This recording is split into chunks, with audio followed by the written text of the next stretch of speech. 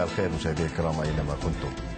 أهلا بكم في اليوم الليلة وحلقة الليلة نخصصها كاملة للحديث عن الأزمة والمشكل السوري الذي يملأ الدنيا ويشغل الناس. ويبدو أن حالة اللهاث وراء قرارات جديدة في هذا السياق وتلاحق الأحداث بسرعة اليوم حدث شيء من التريث هنا وهناك كما نتابع يعني في بريطانيا. كاميرون يؤكد أنهم يملكون أدلة على تورط النظام السوري في هذه الضربة الكيماوية وبأنهم ماضون في طريق تأديب النظام بضربة عسكرية لكن العمال حزب المعارض قال أنه سيصوت معارضا لهذا التدخل في ظل وجود أدلة دامغة كما ذكروا. الولايات المتحدة الأمريكية أيضا أوباما من جديد يؤكد بأن النظام في سوريا مسؤول عن هذه الضربة الكيماوية وأنهم ماضون في في هذا الطريق لكنهم سيتريثوا قليلا حسب مجريات الأحوال. ومطالبة بأن ينتهي المفتشون الدوليون هكذا طلبت روسيا من مهمتهم ويرفعوا تقريرهم ومن ثم لكل حادث حديث. واستعدادات في الداخل السوري واستغلال نسبي لما يحدث من لا أقول انقسام ولكن اختلاف في وجهات النظر تجاه توجيه ضربة وشحذ الهمم في الداخل السوري والرئيس بشار الأسد يقابل وفد من النواب اليمنيين ويقول بأنهم ماضون في طريق الدفاع عن سوريا والقومية العربية وكل هذه الأحاديث التي يعتبرها البعض مستهلكة. هذا هو المشهد حتى الساعة فيما يتعلق ب نذر الحرب التي تدق في المنطقة وتوجيه هذه الضربة. يصر الأمريكيون بأنها تكون ضربة محدودة وواضحة الأهداف وخاطفة بمعنى أنها لن تستمر كثيرا في محاولة للتهدئة. لكن رد الفعل السوري تجاه الضربة هو الذي قد يحدد المسارات. هذا إذا وقعت بطبيعة الحال ومدمرة خامسة تصل إلى المتوسط في إشارة إلى النية في ضرب سوريا. سنضع كل ذلك على الطاولة هذا المساء مع ضيفي هنا في الاستوديو الأستاذ حكم البابا الكاتب والمحلل السياسي السوري. أرحب بك معنا في الاستوديو. وأرحب بضيفي أيضا الدكتور أنور بن ماجد عشقي رئيس مركز الشرق الأوسط للدراسات الاستراتيجية. دكتور مساء الخير. مساء الخير أهلا وسهلا. نعم. و أتوجه بضيفي لضيفي هنا في الأستوديو حكم البابا. أستاذ كيف تقرأ التطورات التي حدثت اليوم؟ البعض يرى أن هناك نوع من التريث والبحث عن أدلة دامغة ومن ثم يحدث تحرك عسكري تجاه سوريا. يعني أنا بستغرب الحديث عن تريث أو تراجع الحديث عن الضربه والحديث عن حل سياسي. هذا هذه الحرب أسرع حرب في التاريخ. أسرع تهيئة لمسرح معركة في التاريخ. يوم الأحد صباحا بدأ الحديث بشكل خجول عن ضربة عسكرية يمكن أن توجه للنظام السوري وليس لسوريا. عقابا له على قصف الغطى بالكيماوي بالكيميائي.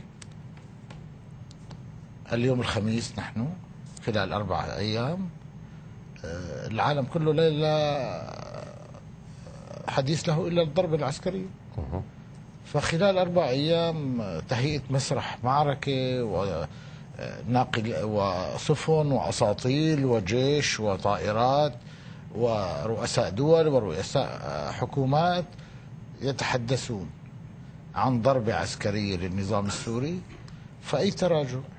يعني يعني إذا بدك حرب الخليج كم استغرق الأعداد لها؟ مثلا.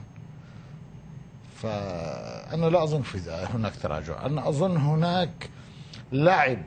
هناك أول شيء محاولة شد ورخي مثل ما بيسموه بالعامي. لتهيئه الجو داخل المجتمعات الغربية للدول المشاركة في الضربة العسكرية. ثاني شيء هي محاولة للعب باعصاب النظام. جزء من هذه المعركة هو تفتيت معنويات الخصم. هذا هذا هي استراتيجية أمريكية تستخدمها دائما في كل حروبها. إسرائيل عندما تضرب بالعادة تضرب ويا بتعلن يا ما بتعلن. وقد تسرب للصحافة وقد تعلن بعد ذلك. لكن أمريكا في كل الحروب التي خاضتها تعلن أنها ستقوم بضربه ويعني آه، نقلت السفينة كذا والطائرة كذا والما بعرف شو إلى الدرجة إنه الخصم بيوصل لما بيوصلوا للضرب بيوصلوا آه، بيوصل منهك. الأمر الوحيد الذي تخفيه أمريكا عادة هو تاريخ بدء الضربه نعم.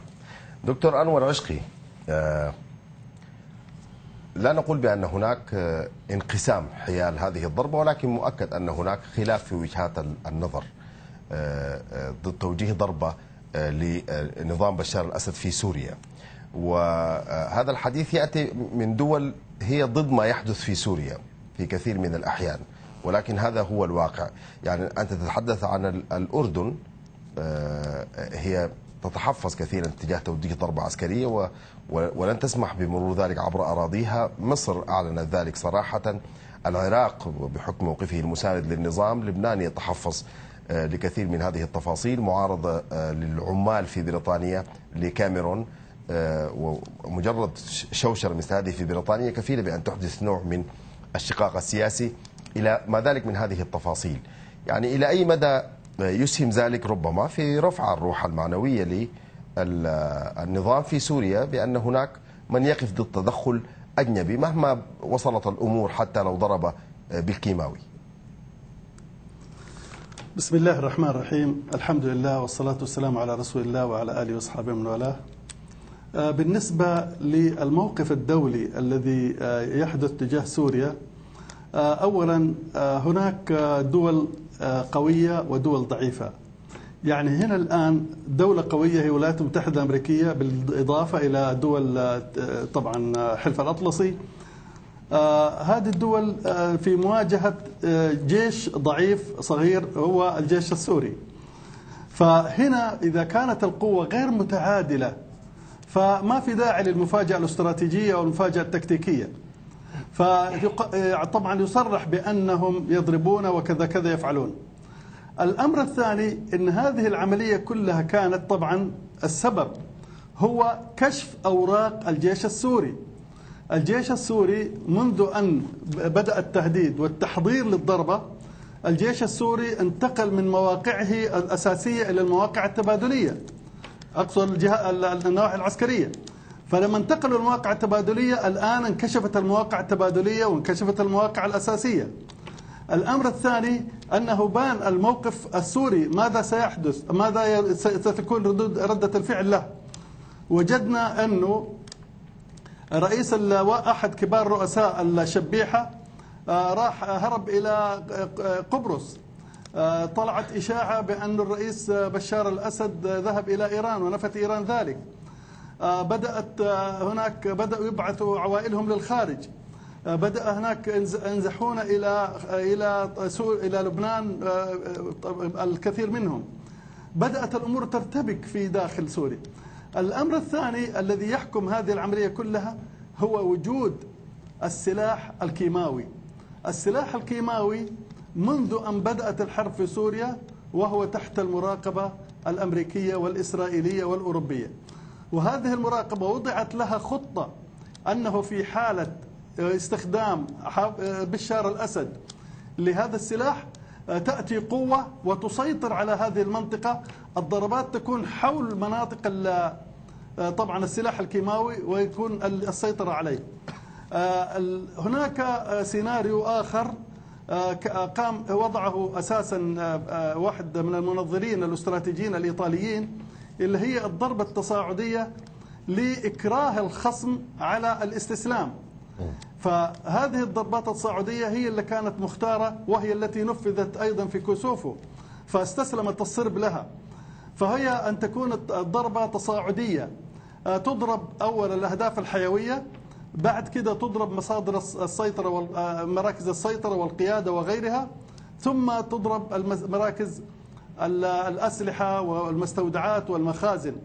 المرحلة الثالثة يكون فيها ضرب المنشآت الحيوية جدا مثل القصور وغير ذلك وأماكن الق- اجتماع القادة. نعم. هذه هي هذا هو الموقف. لكن ما حدث الآن قد يكون نوع من التكتيك أيضا. التكتيك هو أنه ما حدث اليوم يعني يعملوا نوع من الاسترخاء وليس ال relax. الاسترخاء بالنسبة للقوات السورية الأمر الثاني ال- لن يتراجعوا عن الضربة إلا إذا نفذت الشروط التالية. أولا خروج الأسد السيطرة على الأسلحة الكيميائية الكيميائية الش- الس- الت- الهد الثالث أنه تكون تشكل حكومة وحدة وطنية. طبعا الجميع بعض أكثر الدول تفضل أن لا تكون هناك ضربة تدميرية لأن الضربة التدميرية تؤثر على آه، تدمر ال- البنية التحتية وهو ما حدث في العراق. لهذا طبعا الضربة ستكون جراحية في أكثر في أكثرها. نعم. وهذا هو الآن آه، ما ما سيحدث. نعم. أستاذ حكم البابا آه، لدينا حساسيه في المنطقة العربية تجاه أي تدخل أجنبي عسكري لعدم ثقة مطلق في من سيتدخلون بغض النظر عن الفعل الذي يحدث على الأرض ويستدعي التدخل. كيف ترى ذلك أنت؟ وإلى أي مدى الآن المقص الأجنبي هو وحده آه، في يده الحل في سوريا؟ الحقيقة ال- ال- بكل ال- الأنظمة الدكتاتورية الشمولية سواء نظام بشار الأسد وقبله حافظ الأسد ولا نظام صدام حسين ولا أي نظام ميلوسوفيتش هنا لا يوجد حل لإيقاف المجازر التي يقوم بها تقوم بها هؤلاء تجاه شعوبهم إلا تدخل عسكري أجنبي هذا ما حدث. آه، صدام حسين ضرب شعبه آه، ولم يخرج إلا وهرب. عندما دخل الأمريكان بشار الأسد يقوم بالعنتريات الآن يستغيث على الشاشات مع بعض حركات كمال الأجسام الاستعراضية على الشاشه المضحكه الحقيقة حول قوته هو على مجموعة عصابات مسلحة اللي بسميهم عصابات مسلحة ما قدر ما قدر ينتصر سنتين ونص بده ينتصر على تحالف دولي آه، تقوده أكبر دولة بالعالم يعني في شيء مضحك. فأنت بال بال بال بموضوع هي الأنظمة الدكتاتورية لن تزال إلا للأسف إلا بالتدخل الأجنبي. هؤلاء الطغاة هم الذين يستجلبون الغزاة نعم. السوريون منذ سنتين ونصف وهم يتعرضون للقتل طالبوا بتدخل طالبوا بحماية دولية طالبوا بمناطق آمنة طالبوا بحظر جوي لم يستمع إليهم المجتمع الدولي.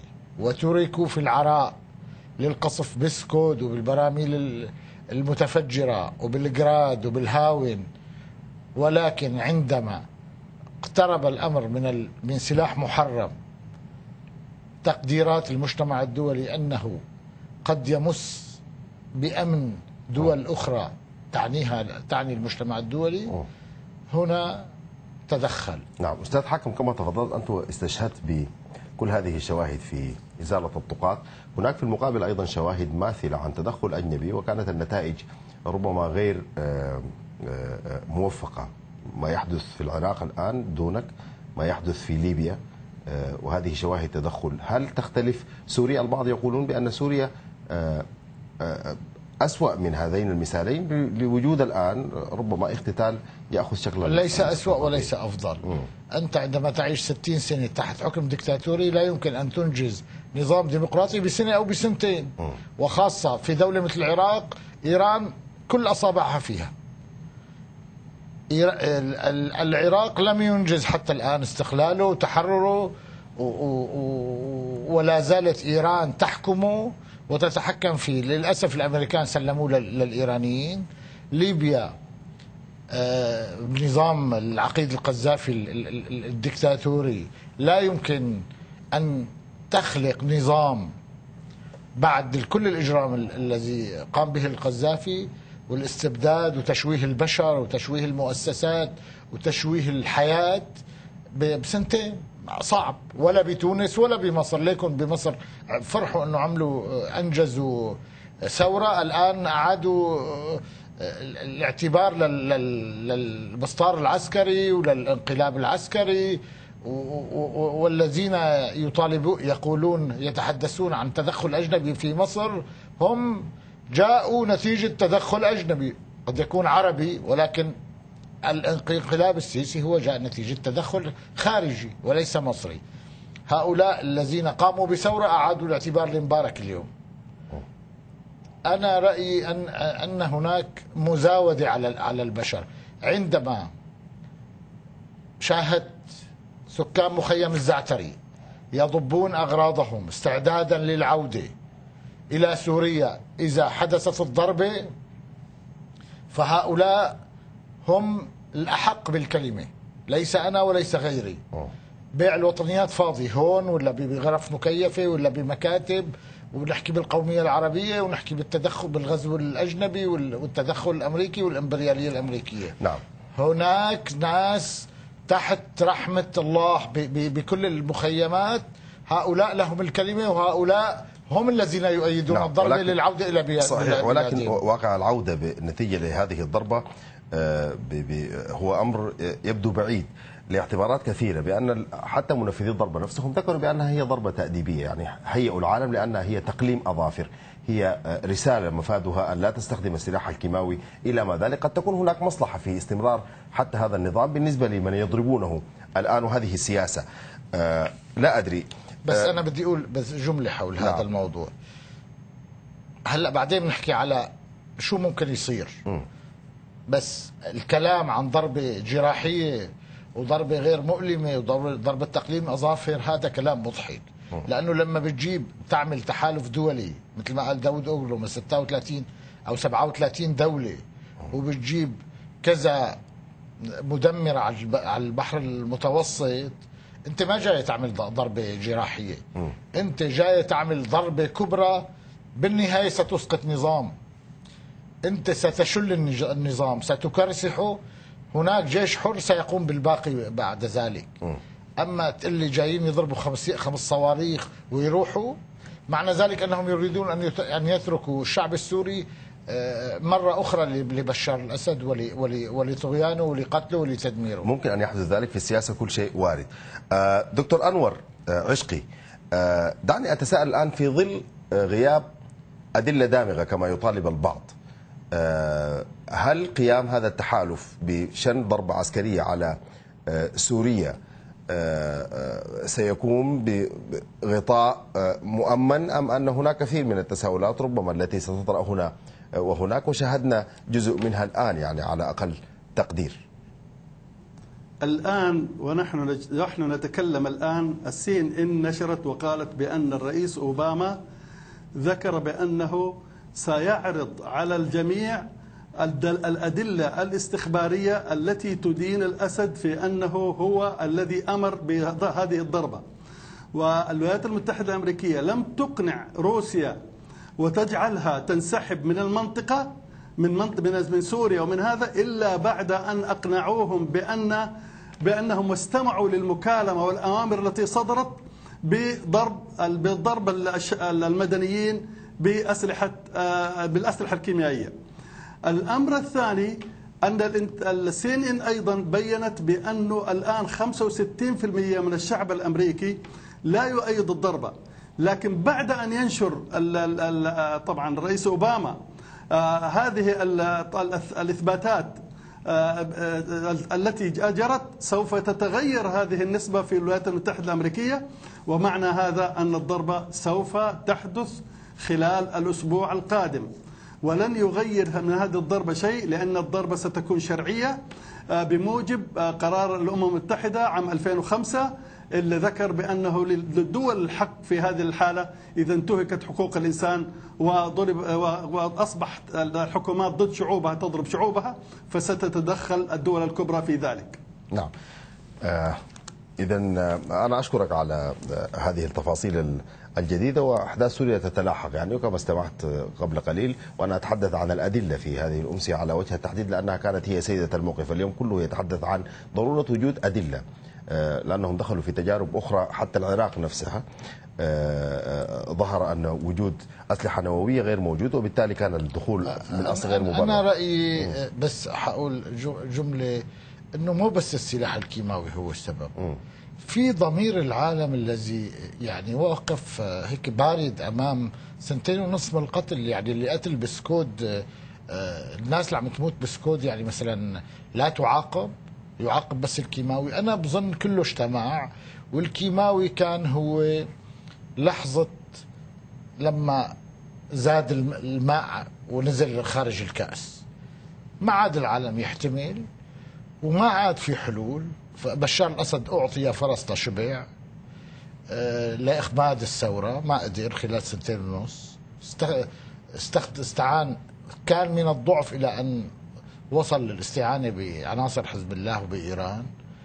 كل ترسانة روسيا لم تستطع أن تنقذه. أنا لا أظن أن أمريكا هي التي أقنعت روسيا. أنا أظن أن اللقاء التاريخي الذي تم بين الأمير بندر بن سلطان والرئيس الروسي بوتين والذي قيل وقتها أنه فشل في إقناعه أو في شرائه لتعديل موقفه هو سبب تعديل الموقف الروسي. مؤتمر لافروف قبل يومين عندما ظهر وقال أنه لم يحارب مع النظام السوري. هذا يعني أن صفقة بندر بوتين قد نجحت. لا تستطيع أمريكا أن تقنع روسيا. تستطيع أن تخوض حرب رغما عنها لكن هذا الإقناع الروسي هو الشراء لروسيا. وانتهى الموضوع.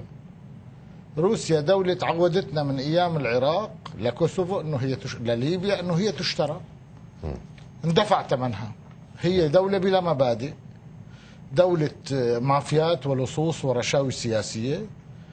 آه، بالنسبة لإيران مضحكة ردود أفعالها.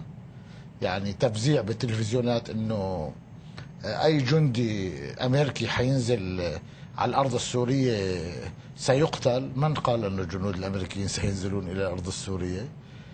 آه، إضافة إلى هي الط- الحالة الطائفية أنه دمشق ستكون معراجهم إلى السماء.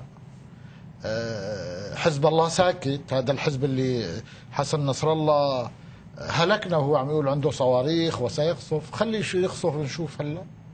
هلا اجته الفرصة المناسبة ليرد دفاعا عن النظام الأسير لديه.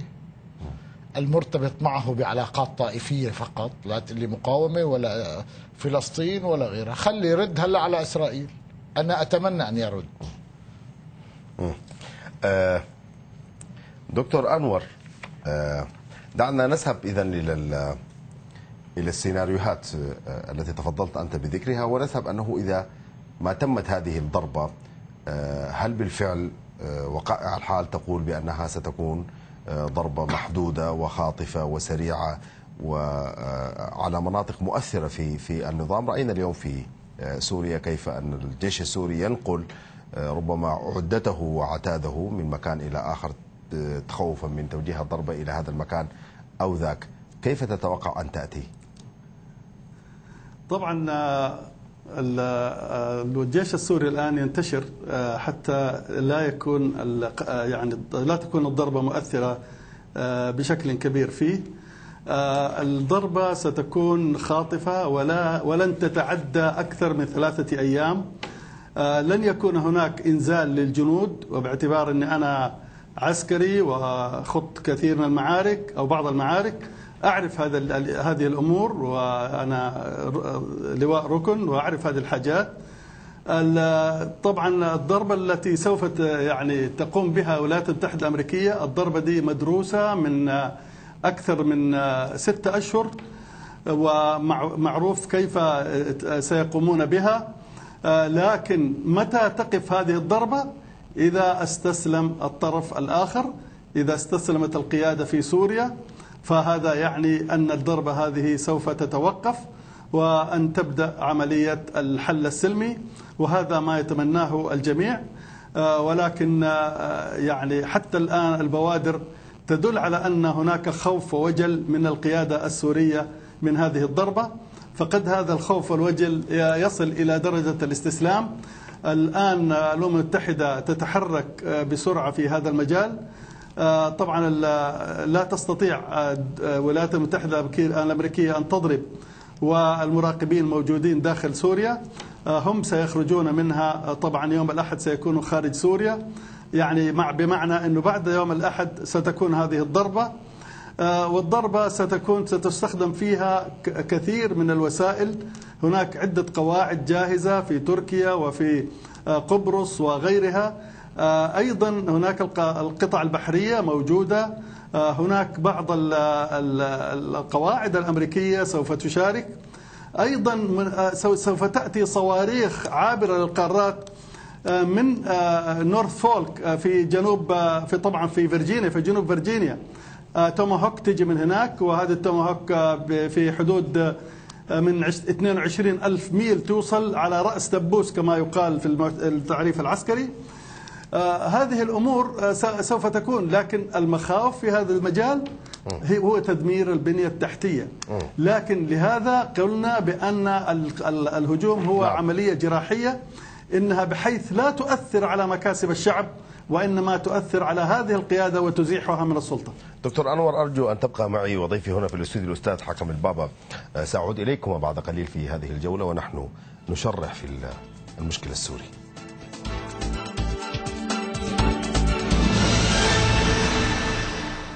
شريط المعلومات برعاية البنك الأهلي المتحد.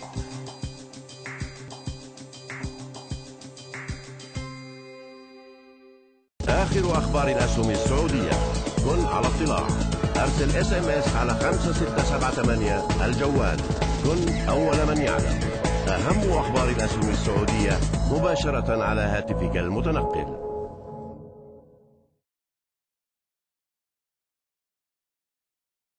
في حساب شخصي على شاشة CNBC عربية. نطرح الأسئلة المالية والمصرفية التي تهمك أنت. ونأتيك بالمسؤولين والخبراء ليفسروا لك الغامض وليذللوا لك الصعب. وليأخذوا بيدك نحو علاقة أكثر ربحا وأمنا مع حسابك الشخصي مع راشد الفوزان على شاشة CNBC عربية. هذا البرنامج برعاية سيما السعودية للمعلومات الائتمانية.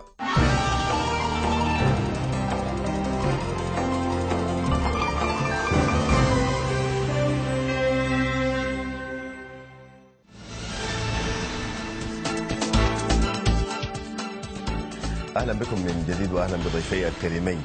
أستاذ حكم البابا دعنا نتحدث عن آه، إمكانية حدوث الضربة إذا وقعت وقرائن الأحوال تدل أن الضربة قادمة آه، خاصة بعد آه، تصريحات أوباما الأخيرة بأنهم سيقدموا للعالم ربما أدلة دامغة على تورط نظام الأسد في هذا الهجوم الكيماوي وبالتالي سيكسبوا على الأقل تعاطف. لن يجد الكثيرون فرصة ربما للخروج عن هذا النص. ولكن إذا ما أخطأت هذه الضربة بعض الأهداف تسببت في قتل بعض المدنيين. آه، إلى ما ذلك من هذه التفاصيل وقد حدث ذلك. يعني إلى أي مدى من الممكن أن يحدث ذلك شيء من التعاطف آه، حتى مع النظام في سوريا؟ آه، لا بس حقول شيء بالنسبة ل اللي قاله الدكتور حول البنية التحتية بسوريا والخوف على تدميرها البنية التحتية. دمرت خلال سنتين من الحرب الحرب لم يترك بشار الأسد أي بنية تحتية هناك. يعني دمشق آه، آه، فيها شوية خدمات حتى الآن بس باقي المدن تحولت آه، إلى حالة يرسى لها يعني يجب إعادة بناء البنية التحتية بسوريا كاملة. أنا برأيي لن يكن هناك تعاطف مع بشار الأسد. سيحاول أن يستغل هذه المسألة. سيحاول أن يضع مدنيين من المس... المعتقلين الذي الذين في سجونه كدروع بشرية ليخرجهم باعتبارهم هكذا أسمع يعني حتى لا لا أجزم. آه، ليخرجهم باعتبارهم مدنيين قتلتهم ال- الضربة الأمريكية فعلها صدام سابقا. لكن آه، لا أنا أظن ال- الذين يتعاطفون مع بشار الأسد اليوم سيبقون يتعاطفون معه. والذين ضد بشار الأسد لن يتعاطفوا معه. الأمر مقسوم والأمور واضحة. هناك مجموعة الشيوعيين عموما آه، أغلب الشيوعيين وأغلب العروبيين القوميين اللي يقفون هم الذين يقفون دائما مع الطغاة من صدام حسين إلى بشار الأسد. آه، إضافة إلى جماهيره لبشار الأسد يعني جمهوره من طائفته أو من آه، الخدم في باقي الطوائف الأخرى. خارج هذا ليست لديه دعاية كافية آه، يكون له صوت في الغرب. لن لن يحرج. الض- الضربة ستبدأ. أنا أعتقد أنها ستكون سريعة. لن يكون لديه الوقت الكبير لكي يستخدم سلاح ال- ال- البكاء وال وال ال- قتل القتل المدنيين وأعتقد إنه سينهار النظام قبل حتى قبل أن مثل يعني لما صدام حسين حكوا إنه سيضرب وسيقتل نحن اكتشفنا إنه الدبابتين دخلوا بغداد واحتلوها وهربت هذا أنا أظن تقريبا السيناريو وربما الجيش السوري أسوأ من من الجيش العراقي. نعم. آه، دكتور أنور عندما تتحدث دمشق عن جهوزيتها ربما وسمعنا ذلك اليوم لهذه المعركة وذكرت بأن دمشق ستكون مقبرة للغزاة آه، وبأنهم آه، ماضون إلى ذلك. على ماذا تراهن؟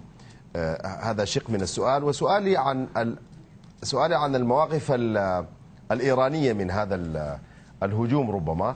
والبعض يقول بأن إيران حتى قبل هذه الضربة لم تكن سوريا في أولوياتها يعني حتى خطاب خامنئي الأخير كان فيه البند السوري جاء ثالثا ونحن في لب هذه المعركة. تحدث عن وضع الداخل الإيراني وبأنهم ضاقوا زرعا ربما بالأزمة السورية وما جرته على إيران على المستوى الاقتصادي. وتحدث عرج على مصر وسوريا في المرتبة الثالثة. لذلك ممكن من الطبيعي أن آه، لا تدخل إيران في حرب مباشرة آه، نيابة عن سوريا. ولكن ماذا عن حزب الله؟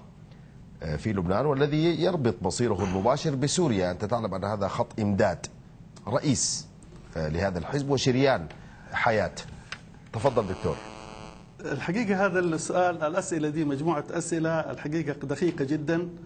آه، وهذه الأسئلة تحتاج في حاجة إلى إجابة أيضا دقيقة في هذا الجانب آه، حينما يقول النظام السوري بأن سوريا تصبح مقبرة الغزاة هذا يعني أن القيادة في سوريا تخشى على قواتها من التفكك والاستسلام بسرعة. وهذا ما حدث لقوات صدام حسين حينما بدأ الهجوم أثناء تحرير الكويت. كل القوات اللي عنده استسلمت بسرعة. وحتى أنا اللواء اللي كنت أعمل فيه هو اللي دخل الكويت وجاءوني بهدية في تلفون ميداني بعد ال- ال- المعركة. الأمر الثاني بالنسبة لإيران إيران لا يمكن أن تدخل في حرب لصالح آه، سوريا ولا لصالح أي بلد. شفناها لم تدخل مع ضد إسرائيل أيام حزب الله وإسرائيل حينما آه، يعني عام 2006 آه، الأمر الثاني حزب الله الآن حزب الله في ورطة ولكنها دكتور أنور آه، دكتور أنور العشقي هي نعم، دعمت حزب الله مؤكد وإلا لما صمد الحزب في في تلك المعركة يعني. دعمته دعم. كبير. نعم. لكن لم تدخل الحرب من أجل حزب الله. دعمته بالأسلحة دعمته بالأموال لكن لم تدخل ولم تطلق طلقة واحدة ضد إسرائيل. حتى المظاهرة التي قامت في إيران آه، لصالح حزب الله منعتها الحكومة الإيرانية. هذا إيران معروفة. آه، دائما آه، طبعا تتكلم أكثر مما تفعل. أما بالنسبة لحزب الله حزب الله في ورطة كبيرة الآن حزب الله آه، طبعا هناك في آه، هجوم مضاد عليه من آه، جبهة النصرة. إسرائيل الآن أمامها عدوين عدو استراتيجي وعدو تكتيكي. العدو الاستراتيجي هو إيران وحزب الله وهذا العدو يريد إقصاءها من الوجود ولديها عدو تكتيكي هو حماس وطبعا جبهة النصرة يريدون إزاحتها تكتيك من الحدود. فهي الآن توظف العدو التكتيكي ضد العدو الاستراتيجي حتى هي لا تتأثر. فلهذا الآن نجد ضربات في مناطق حزب الله. حزب الله لو عاد من سوريا لن يجد له مكانا في في الضاحية الجنوبي الجنوبية. الموضوع الأوراق آه، اختلطت كثير. فإذا معناها أنه إسرائيل لن تضرب أي ضربة في الفترة دي. آه، إيران لن تضرب لن تقوم بأي ردود فعل. أنا أحب أطمئن في النهاية جماعة جماعتنا في دول مجلس التعاون وفي المملكة العربية السعودية لن تجرؤ إيران على عمل أي ضربة ضد هذه الدول لأن إيران لم تتمكن من التحرك حينما ذهبت قوات طبعا درع الجزيرة وعلى رأس المملكة العربية السعودية إلى البحرين. فإيران معروف مواقفها طبعا آه، آه، تهدد بالكلام لكنها لا تستطيع أن تقوم بفعل, بفعل آه، حيال هذه الأمور. نعم أشكرك.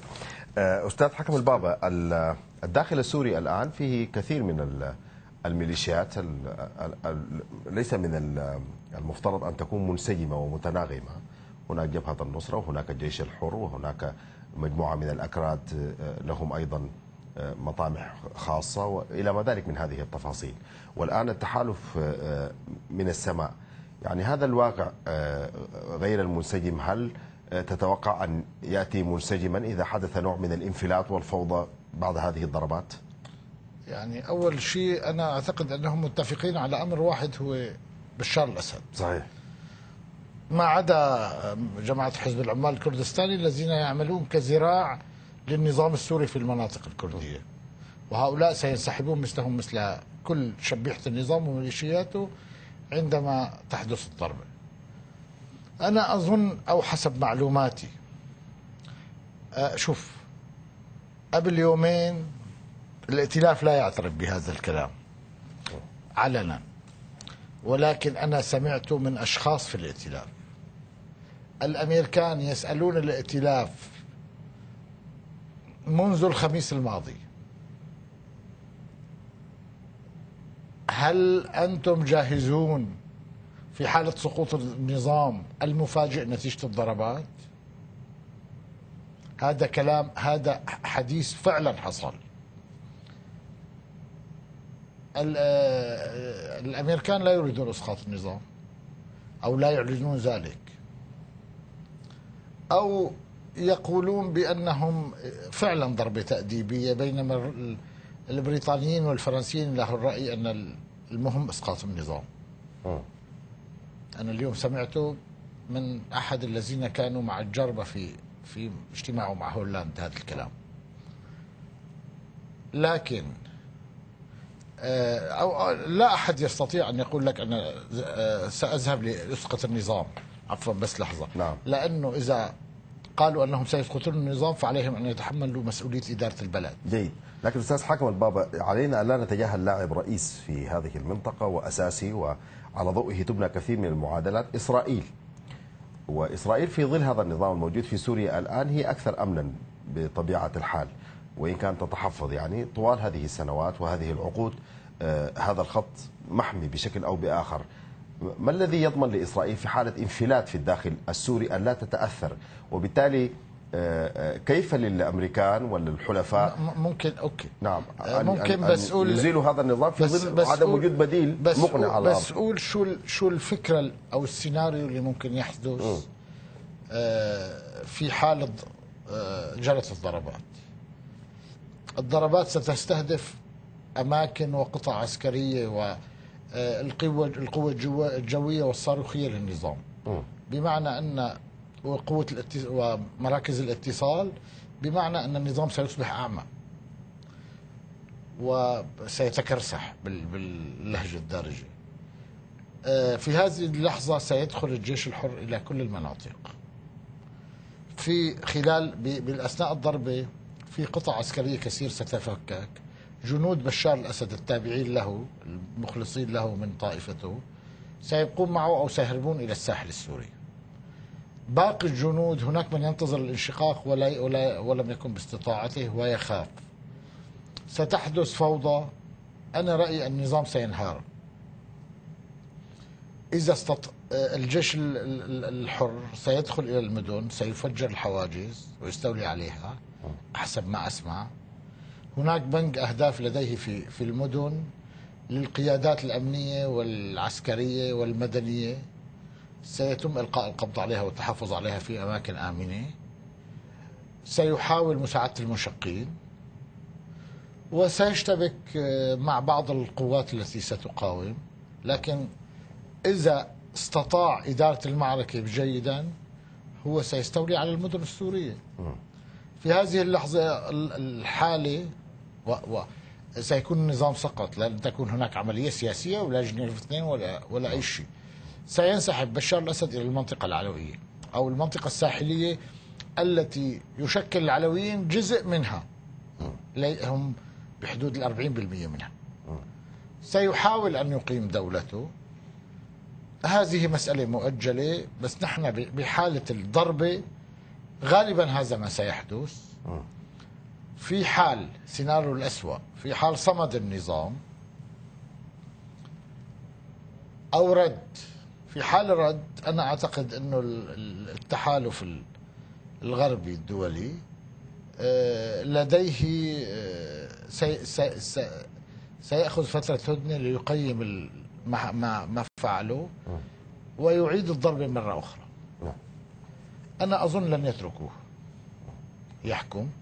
لأنه إذا حكم فعلا سيستخدم الكيماوي. إذا لم تحدث ضربة نحن يموت لنا في سوريا على الأقل كل يوم الآن بحدود المية مية وخمسين شهيد. لو لم يضرب سيس- سيستخدم الكيماوي صبح مساء وست- وستسمع يوميا عدد الشهداء بال 2003 نعم. إسرا... بالنسبة لإسرائيل الدكتور قال إنه العدو است... إنه إيران وحزب الله عدو استراتيجي. أنا ما بظن هيك. أنا بظن إيران وحزب الله هن حلفاء وإلا ما كانت الجبهة من 2006 يحافظ عليها حزب الله وإيران لا تفعل شيئا سوى شتم آه، إسرائيل في في التلفزيون. وعندما ضربت حماس لم يقف معها أحد. أرسلوا لها بعض الدعم أو أي شيء بس لم يفتح لأحد جبهة. بال 2009 معها مؤازرة لها. لا النظام السوري ولا حزب الله. أنا رأيي ال- السوريين مشغولين بنفسهم الآن. ولوقت طويل. لن يفكروا ب ب ب ب ب بأي معركة مع إسرائيل نعم. ستشتتهم يعني. جيد. دعني آه، أنتقل إلى الدكتور أنور آه، عشقي. آه، وأتساءل دكتور آه، يعني إذا حدثت هذه السيناريوهات بهذا الشكل واشتدت ربما الضربة وضربت مراكز حساسة آه، في سوريا وفقد ال- ال- النظام بوصلته كما يقولون إلى أي مدى من الممكن أن يقوم بعمليات ربما خارجه عن النص يحاول من خلالها أن ينقل مسرح ال- المعركة إلى جهات أخرى ويهاجم إسرائيل ربما أو يتدخل حلفائه بشكل أو بآخر. هل من الممكن حدوث ذلك؟ اولا أحب أقول لك انه من قبل آه، آه، يعني شهور آه، اعدت هذه العم اعدت هذه الخطة. من قبل شهور وضعت هذه التحسبات. مركزنا شارك مع يعني حوالي عدة مراكز من 15 دولة في الأسبوع الماضي. كنا ندرس هذه العملية في أوروبا في أحد المدن الأوروبية. آه، طبعا آه، كنا نناقش هذه الأمور بصراحة وبكل شفافية. آه، أولا الأسد لماذا استخدم هذا السلاح في هذه الفترة؟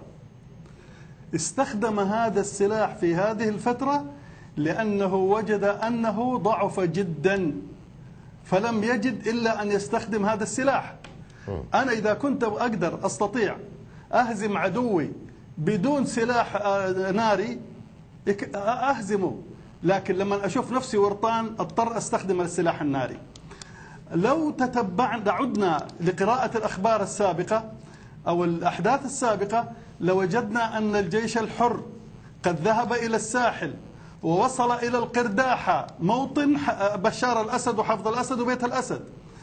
وطبعا هناك طمأنهم بأنهم لن يمارسوا السنة ضدهم أي إجراءات سيئة وأن بل إنهم سوف يحترمونهم. هذه الحاجات حدثت.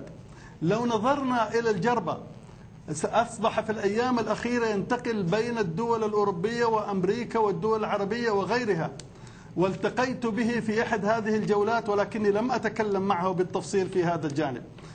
إذا معناها أن الأمر ما يستطيع حافظ بشار الأسد أن يطلق طلقة واحدة إذا حدث الهجوم هذا عليه. هذه كلها أمور تكون محسوبة في الخطة. سا- حدث الهجوم على الكويت لتحرير الكويت القوات العراقية كان عندهم أمر بإطلاق ال ال ال الذين في الجبهة بإطلاق ال- الغاز السام. لم يطلقوا الغاز السام وإنما الكيميائي وإنما على طول استسلموا القوات السعودية. حتى إن إننا ما كنا عارفين إيش نسوي فيهم. بعشرات الألوف صاروا يستسلموا. صرنا نقول لهم ارجعوا لدياركم. ما عندنا أماكن نسجنكم فيها. هذه هذه الأمور لازم إحنا نعرفها. الحرب ليست عملا مدنيا. نأخذه من الإذاعة والإعلام ثم نصوغه ابدا. هذا العملية دي عملية تخطيط عسكري ودراسات طويلة الأمد.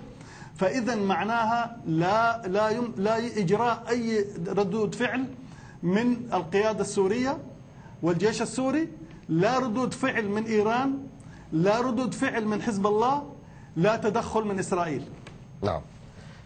أستاذ حكم البابا دعني أتساءل عن الأداء السياسي للمعارضة السورية. تحدث عن المعارضة بشقها آه، السياسي يعني آه، كيف تقيم أدائها في هذه الفترة؟ سيء. سيء. أعتقد سيء. نعم.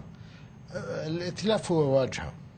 هناك من يقود العمل الحقيقة من خارج السوريين. وهو الذي رتب كل هذه المسألة. نعم. وماذا عن الأقليات الموجودة في في سوريا؟ آه، كيف ترى وضعها في ظل هذه الأزمة وبعد هذا ال- السيناريو المفترض؟ أنا أعتقد آه، حافظ الأسد ومن بعده بشار الأسد دائما حاول حاولوا أن يقولوا للأقليات فيما لو وصل المسلمون إلى السلطة سيذبحونكم.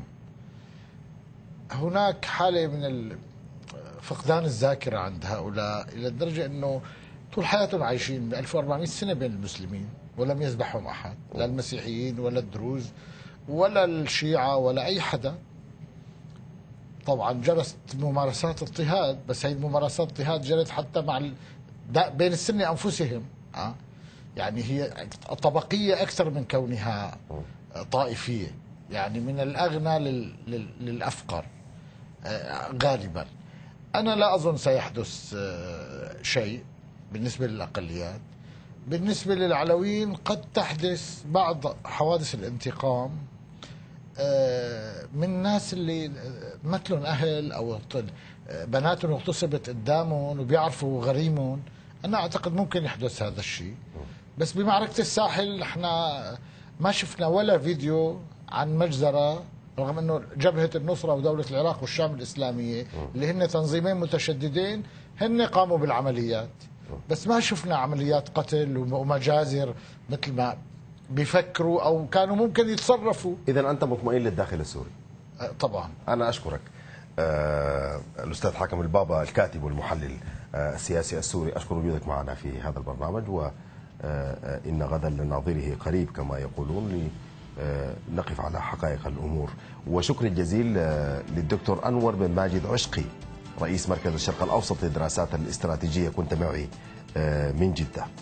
إذا مشاهدي الكرام آه، أشكر ضيفي الكريمين ويبقى المشكل والأزمة السورية آه، معلقة وحبلى بكل المفاجآت ولو إلى حين آه، أذكر بأن الرئيس أوباما وعد بكشف أدلة دامغة عن تورط النظام السوري في هذا الهجوم وربما ذلك سيغير كثير من مجريات آه، هذه الأزمة.